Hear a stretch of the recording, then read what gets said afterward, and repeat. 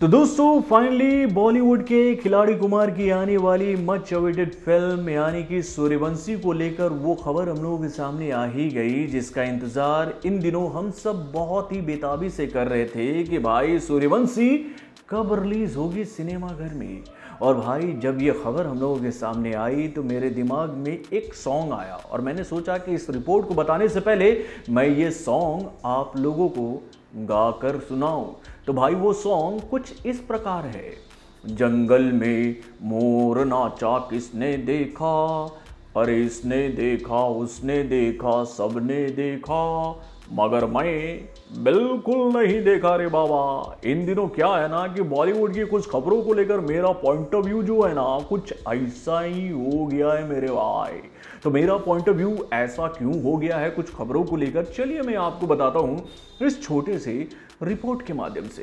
Hello friends मैं हूँ नरेंद्र और मैं आपके लिए लेकर आया हूँ और एक खास रिपोर्ट जो कि जुड़े भैया बॉलीवुड के रियल मेगा स्टार यानी कि गारंटी कुमार खिलाड़ी कुमार रिकॉर्ड कुमार यानी कि भाई स्पीडी कुमार अक्षय कुमार की आने वाली उस फ़िल्म से, जिसको लेकर पहेलियों का बाज़ार 2020 से ही गर्म है। यानी कि भैया, ये पहली 2020 से ही काफ़ी वायरल है हर एक सोशल मीडिया प्लेटफॉर्म पर, जिसका जवाब अभी तक किसी को नहीं पता है कि भाई कब आएगी पुलिस। यानी कि पुलिस तो बार बार आने का वादा हम लोगों से करती है, लेकिन वो अपने वादे से मुकर जाती है।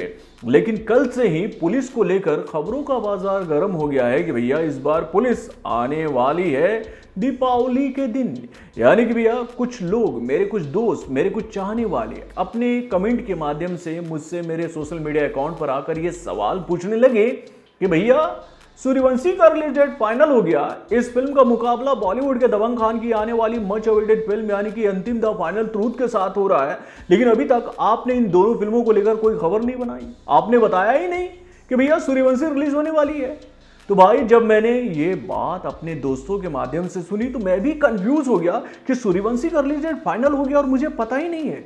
इवन भैया, इस फ़िल्म के मेन लीड एक्टर यानी कि अक्षय कुमार, उसके साथ में अजय देवगन, उसके साथ में रणवीर सिंह और उसके बाद भैया सलमान खान और आयुष शर्मा को भी नहीं पता है कि भैया उनकी फ़िल्में रिलीज़ होने जा रही हैं दिवाली के दिन।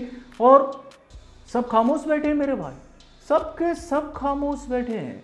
यानी कि भैया, इन कलाकारों की फ़िल्म सिनेमा घर में आने वाली है, इनके तरफ़ से कोई स्टेटमेंट नहीं आया, लेकिन इन दोनों फ़िल्मों को अभी से ही घोषित कर दिया गया है कि भैया, ये जो फ़िल्म है, यानी कि ये जो दोनों फ़िल्में हैं, वो एक साथ सिनेमा घर में रिलीज़ होने वाली हैं दिवाली के दिन। भैया, अजीब हालत है। यानी कि इस खबर को बताते हुए ना, मुझे एक पुरानी कहावत याद आई, जो कि बिहार में काफ़ी प्रचलित है। कि देखो देखो, वो कौवा जो है ना, तुम्हारा कान लेकर जा रहा है। और भाई, इस बात को सुनने के बाद ना कुछ लोगों की हालत ऐसी हो जाती है कि वो अपने कान को नहीं देखते हैं, कौवे को देखते हैं कि कौवा कौन सी दिशा में उसके कान को लेकर जा रहा है। भाई, गलत है गलत है, ये खबर गलत है। अभी तक ना तो सूर्यवंशी को लेकर कोई खबर हम लोगों के सामने आई है कि भैया ये फ़िल्म कब रिलीज़ होने वाली और ना ही अंतिम द फाइनल ट्रूथ को लेकर कोई जानकारी सामने आई है कि यह फ़िल्म कब रिलीज़ होगी सिनेमा घर में? यानी कि भैया, इन दोनों फ़िल्मों को लेकर खबरों का बाज़ार बस गर्म किया जा रहा है ताकि इन दोनों फ़िल्मों का जो हाइप है, वो बना रहे मेरे भाई। आप लोगों को याद ही होगा कि कुछ दिनों पहले मैंने आपको एक जानकारी दी थी बुक माई शो के हवाले से कि भैया, सूर्यवंशी का जो रिलीज़ डेट हम लोगों के सामने रखा गया है, वो अक्टूबर के महीने का है। यानी कि अक्टूबर के महीने में ये फ़िल्म सिनेमाघर में आने वाली थी। इस बात की जानकारी मैंने आपको दी थी और प्रूफ के साथ दी थी कि भैया इस फ़िल्म का जो रिलीज़ डेट है वो अक्टूबर का बताया जा रहा है, यानी कि सूर्यवंशी का। लेकिन अभी जब आप जाओगे, बुक माई शो के साइट पर तो वहाँ पर आप पाओगे कि भैया वो जो रिलीज़ डेट है ना वो गायब हो चुका है और वहाँ पर बस इतना ही लिखा हुआ है कमिंग सून यानी कि सूर्यवंशी आने वाली है, लेकिन किस डेट पर आने वाली है, वहाँ पर अब ऐसी कोई भी चर्चा आपको देखने को नहीं मिलेगी। और उसके साथ ही, अगर आप अंतिम द फाइनल ट्रूथ को भी लेकर अगर आप सर्च करोगे बुक माई शो पर तो भैया वहाँ पर बस आप यही पाओगे कि भैया इस फ़िल्म को भी लेकर यही जानकारी दी गई है कि कमिंग सून बहुत जल्दी ये फ़िल्म आने वाली है सिनेमा घर में, लेकिन कब? इसका जवाब वहाँ भी आपको देखने को नहीं मिलेगा। यानी कि भाई, जंगल में मोर नाचा किसने देखा? और इसने देखा, उसने देखा, सबने देखा मगर मैं बिल्कुल नहीं देखा रे बाबा। यानी कि भैया, कुछ खबरों को लेकर ना आजकल मेरा माइंडसेट पूरी तरीके से सेट हो चुका है कि भाई, कुछ लोग अगर सोशल मीडिया पर आकर कह दे कि भैया, देखो ऐसा है कि सलमान खान की फ़िल्म आने वाली है। भैया, देखो, ऐसा है कि अक्षय कुमार की वो फ़िल्म अब फाइनली सिनेमाघर में रिलीज़ हो जाएगी, जिसको लेकर खबरों का बाज़ार काफ़ी दिनों से गर्म है। तो भैया, मैं इन बातों पर तभी भरोसा करूँगा जब इन फ़िल्म के मेकर्स के द्वारा ऑफिशियली घोषणा की जाएगी कि हाँ भाई ये फ़िल्म रिलीज़ होने वाली है। दोस्तों, यहाँ पर मैं आप लोगों को एक बात क्लियर करना चाहूँगा सूर्यवंशी को लेकर कि भैया इस फ़िल्म के जो मेकर हैं, उन्होंने अपना माइंडसेट बिल्कुल क्लियर करके रखा है कि भैया वो इस फ़िल्म को कब रिलीज़ करेंगे। यानी कि अगर हम लोग सूर्यवंशी की बात करें तो इस फ़िल्म के जो मेकर हैं, वो अपनी इस फ़िल्म के माध्यम से सिनेमा घर में 200 से 250 करोड़ का बिज़नेस करना चाहते हैं।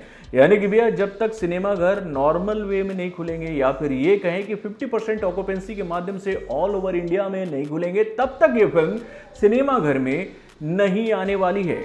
यानी कि सूर्यवंशी का जो बिज़नेस प्लान है, वो कुछ कुछ ऐसा है कि भाई, सिनेमा घर से 250 करोड़, उसके बाद ओ टी प्लेटफॉर्म से 70 से 80 करोड़, उसके बाद डिजिटल राइट बेचकर इस फ़िल्म से 80 से 90 करोड़, और उसके बाद भैया, और छोटे मोटे सोर्सेज के माध्यम से करीबन 10 से 20 करोड़। यानी कि इस फ़िल्म का राइट बेच बेच कर कम से कम 400 से 500 करोड़ का बिज़नेस कर लिया जाए, तभी इस फ़िल्म को रिलीज़ किया जाएगा।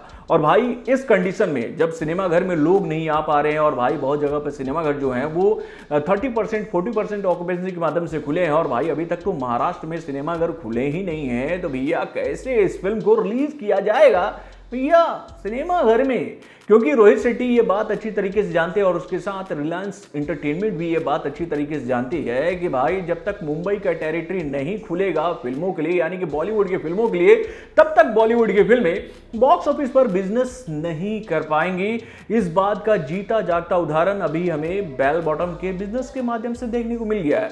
और उसके साथ ही ये बात साफ़ हो गई है कि भैया बेल बॉटम भले ही सिनेमा घर में रिलीज़ हो चुकी है, लेकिन अब बॉलीवुड की कोई भी बड़ी फ़िल्म सिनेमाघर में तब तक नहीं आएगी जब तक महाराष्ट्र का टेरिटरी ओपन नहीं होता है। यानी कि भैया एक सीधा बात कहें कि अगर कोई आपको कहेगा ना कि देखो देखो देखो, कनवा तुम्हारा कौआ लेके जा रहा है तो भैया आप कौआ को मत देखिएगा। यानी कि क्रो, काव काव, उसको मत देखिएगा, बल्कि अपने कान को देखिएगा कि भैया, हमारा कान जो है वो सही, सलामत है कि नहीं। तभी जाकर आप इस बात पर विश्वास कीजिएगा कि भाई कौआ कान लेकर गया है या फिर नहीं?